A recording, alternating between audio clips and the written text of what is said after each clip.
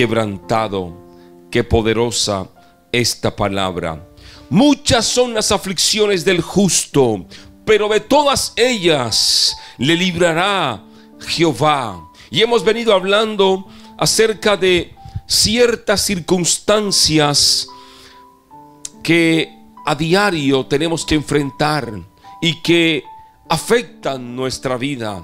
Hablamos de circunstancias que tenemos que vivir en cualquier aspecto de la vida y que afectan no solo la parte espiritual, sino la parte emocional, afecta incluso la, el comportamiento en cuanto a la relación con los demás. Hablamos también acerca de la fe, del positivismo, la diferencia que hay entre uno y otro, y que tenemos que hablar como iglesia, como hijos de Dios, un lenguaje de fe. Fue lo que Jesús enseñó, que tú y yo tuviésemos fe, que habláramos en fe, que nos moviéramos en fe, y es muy distinto al positivismo que no se trata de ocultar la realidad que vives como lo hace la mayoría de la iglesia en este tiempo, hablando cosas positivas, no, se trata de enfrentar la situación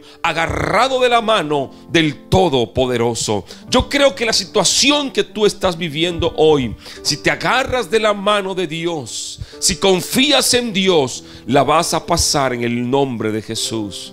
La palabra dice que es necesario que a través de pruebas y tribulaciones nosotros seamos probados. Dice la palabra que nuestra fe es como el oro que se refina en medio del fuego. Y las pruebas y las dificultades a nosotros nos refinan, a nosotros nos pulen en la vida espiritual. Esta vida que hoy vivimos es una vida que es necesario que tenga pruebas, tenga luchas y tenga dificultades, porque esas pruebas, esas luchas y esas dificultades nos hacen, número uno, lo vimos anteriormente, número uno, depender de Dios. Número dos, aumenta nuestra fe.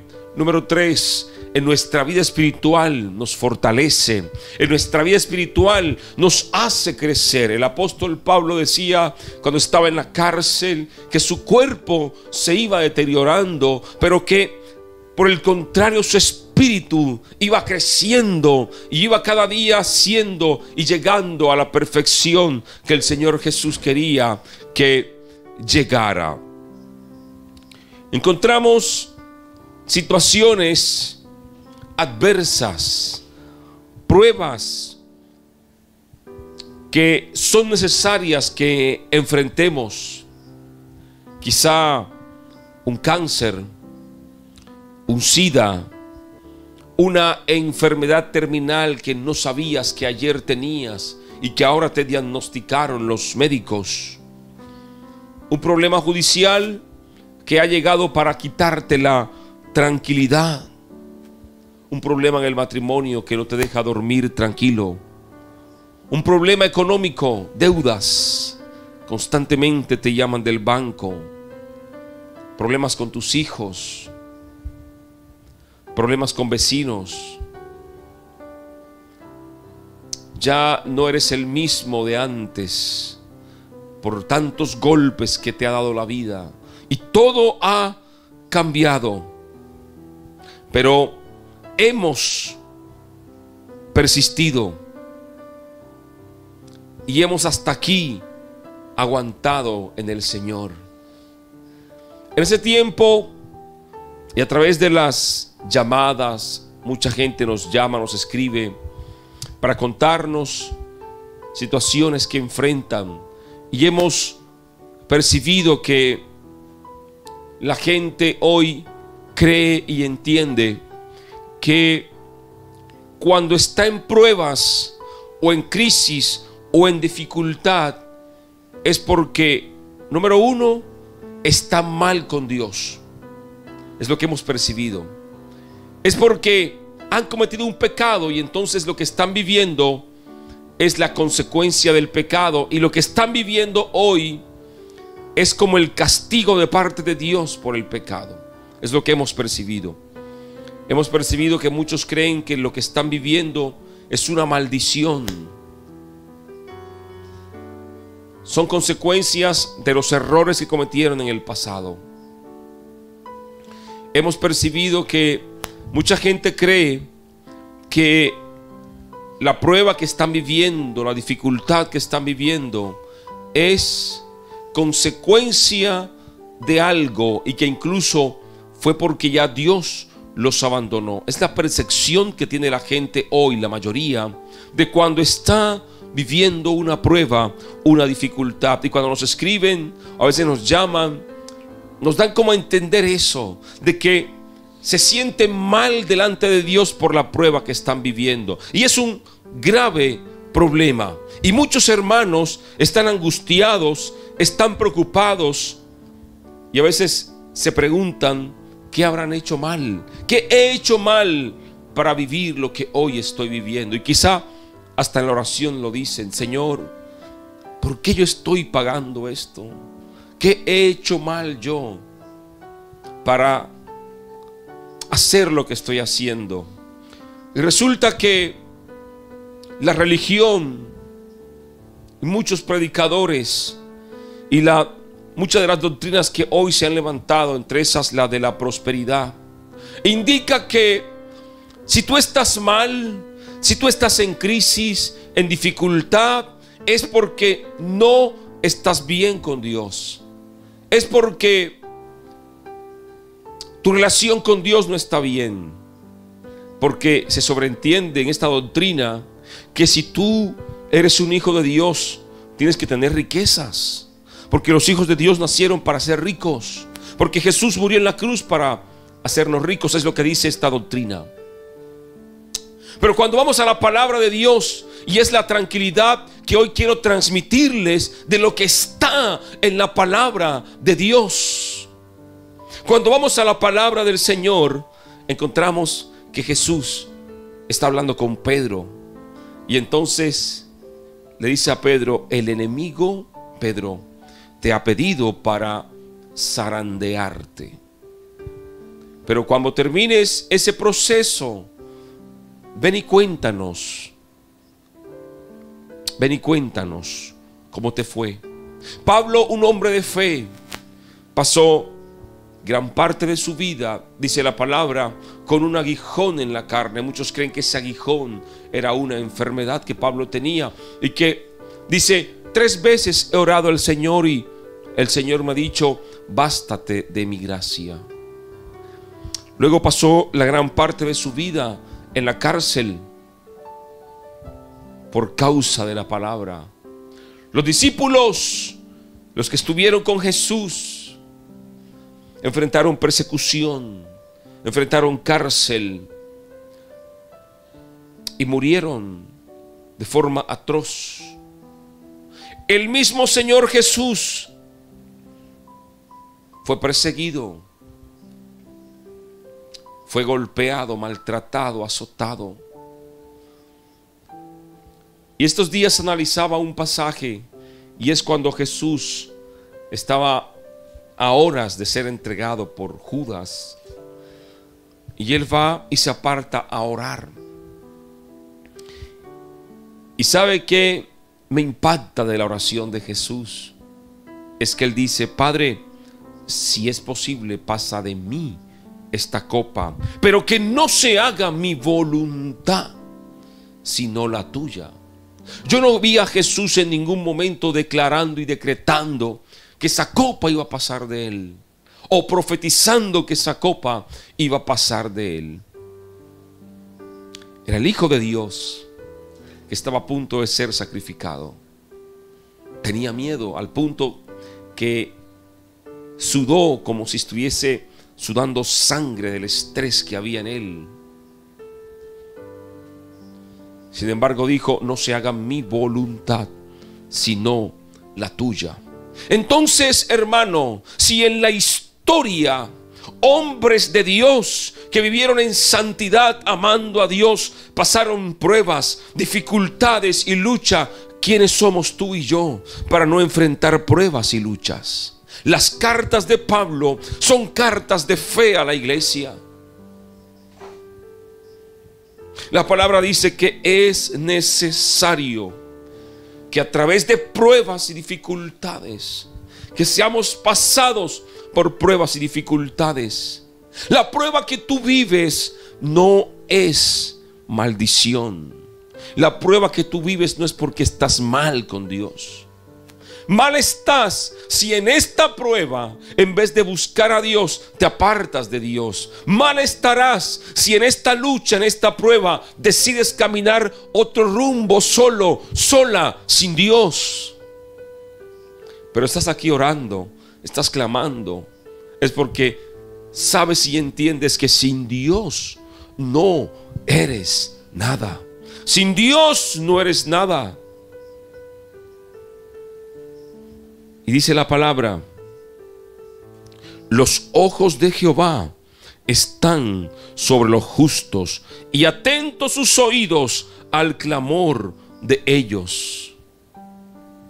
Y clamas y clamas, Señor, ayúdame y líbrame. ¿Y por qué no recibimos la ayuda de Dios en el momento que la pedimos? Porque es necesario que seamos procesados. La prueba procesa nuestra vida, procesa nuestra fe. Por eso se llama proceso, porque viene de procesar. La prueba aumenta tu fe. La prueba pule tu fe. Y yo hice un comentario hace varias semanas y dije, ¿qué sería de nuestra vida si no tuviésemos pruebas, si no tuviésemos dificultades, si no tuviésemos luchas? ¿Sería que amaríamos a Dios? ¿Estaríamos preparados para cuando llegue el tiempo final? Las pruebas y las luchas son necesarias, mi hermano. No te sientas mal si hoy estás en prueba. No quiere decir que estás en pecado. No quiere decir que es que has hecho algo malo delante de Dios. No quiere decir que Dios te ha abandonado. No.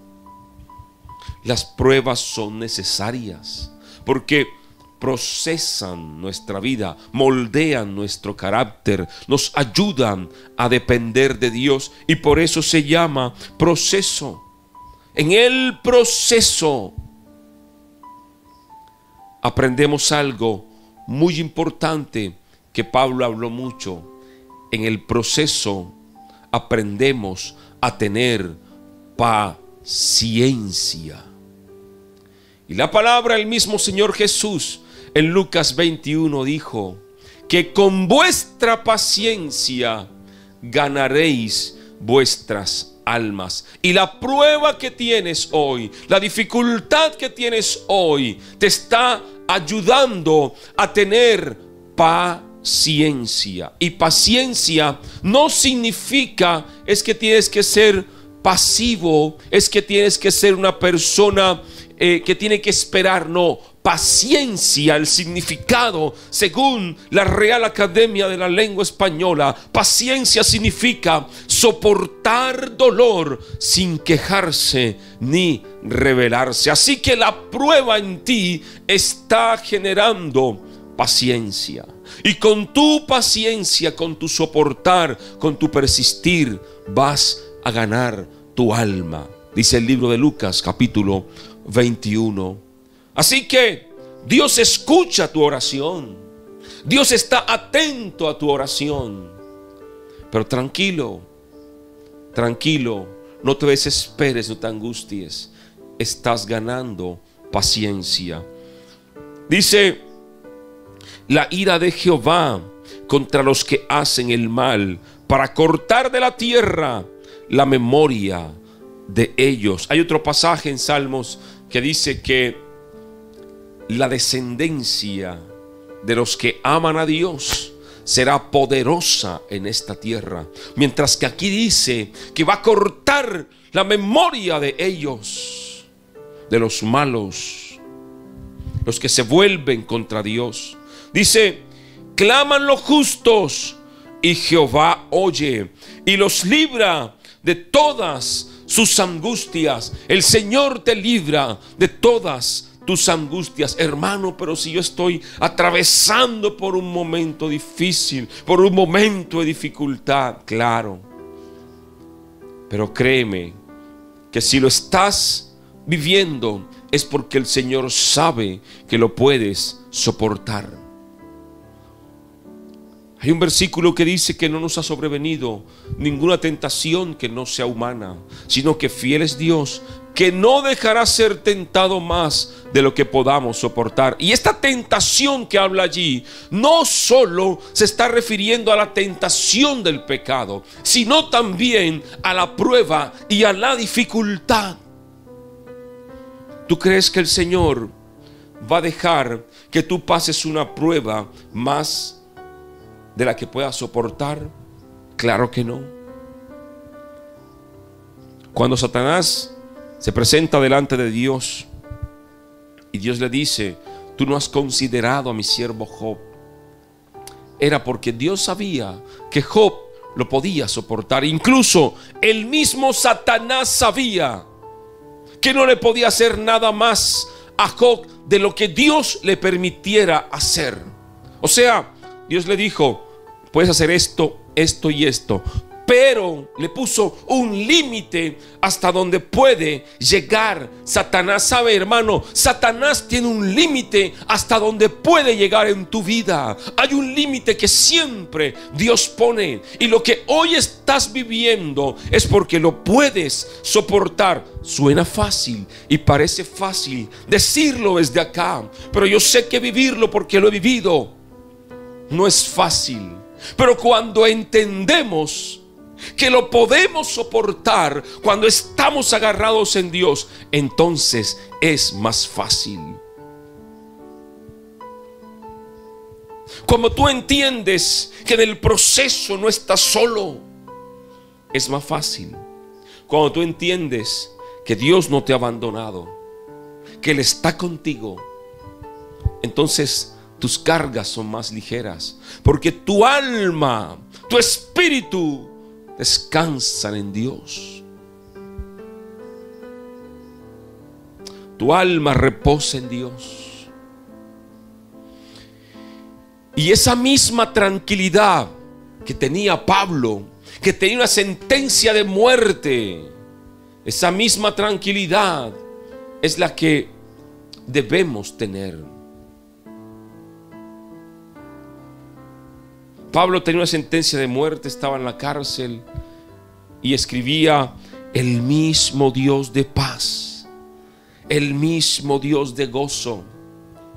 Escribía, y la paz de Dios, que sobrepasa todo entendimiento, inunde nuestros corazones. Un hombre en una cárcel, sentenciado a muerte, escribiendo estas cosas, nos habla mucho de la intimidad, de la relación y de la confianza que tenía en Dios. No fueron cartas de odio, no fueron cartas de queja, fueron cartas de amor, fueron cartas de fe y de esperanza. Quizá tú hoy estás en una cárcel, espiritualmente hablando. Hay una cárcel en la que vives que se llama cáncer.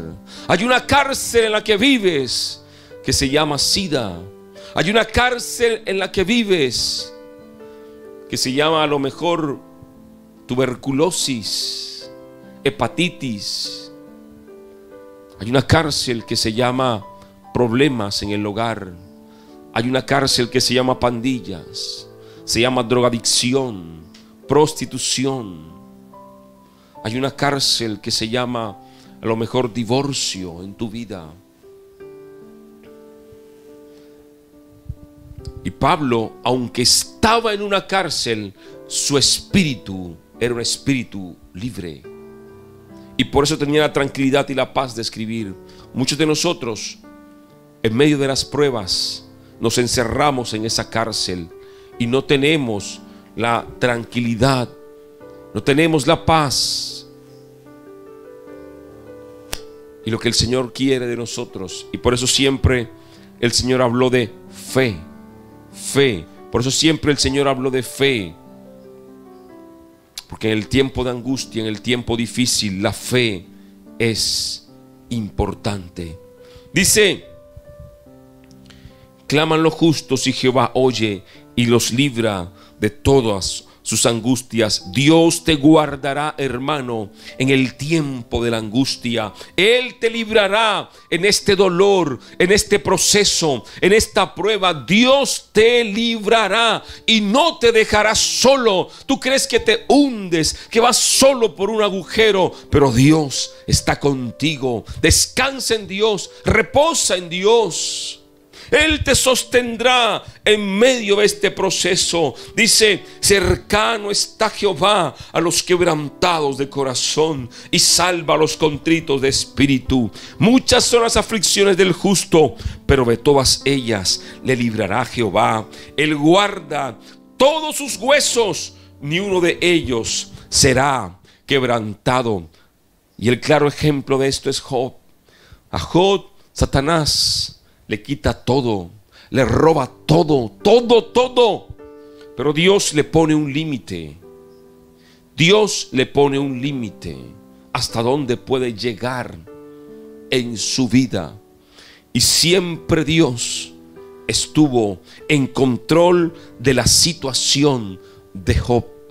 Siempre Dios ha estado en control de tu situación. Siempre Dios estuvo en el control de la situación de Pablo, en el control de la situación de los apóstoles. Siempre el Señor estuvo en control. A Dios, tu problema no se le salió de las manos. A Dios tu enfermedad no se le salió de las manos. A Dios tus hijos no se le salieron de las manos. A Dios tu matrimonio no se les salieron de las manos. Pero hay algo que nos toca hacer. Y número uno es estar cerca del Señor. Buscar su presencia, amarlo, ser justos y ser contritos de espíritu. Porque pasa algo también. Y es que en medio de la prueba, entonces el ser humano empieza a buscar culpables. Y el primer culpable se llama Dios. Se muere un familiar y el primer culpable es Dios.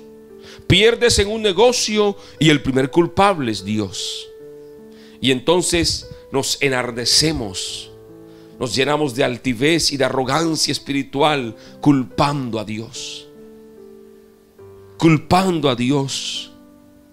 Y dice la palabra, cercano está Jehová a los quebrantados de espíritu y salva a los contritos de espíritu. No dice y salva a los altivos y salva a los arrogantes y salva a los que se van en contra. No, salva a los contritos de espíritu, a los que saben y entienden que aún en medio de la dificultad tienen la esperanza puesta en Dios y saben y entienden que aún el problema que viven Dios está con ellos. A esos Dios salva. A esos Dios levanta gente como tú, que está aquí orando y clamando en las mañanas, aún en medio del dolor y en medio de la crisis que viven. Yo quiero decirte hoy de parte de Dios, el problema que vives, la enfermedad que vives, tiene un límite. Tiene un límite. Dios ha puesto un límite hasta dónde puede llegar. Y si Dios ha puesto el límite, de allí no va a pasar. Pero tu esperanza y tu confianza deben estar puestas en Dios. El Señor es tu auxilio. El Señor es tu socorro. El Señor es tu ayuda en medio de esta dificultad. Vamos a orar en este día. Vamos a clamar en este tiempo. Porque yo creo que el Señor está con nosotros. Él no nos ha dejado, no nos ha desamparado y no nos va a desamparar. Padre, gracias por tu amor y por tu misericordia. Gracias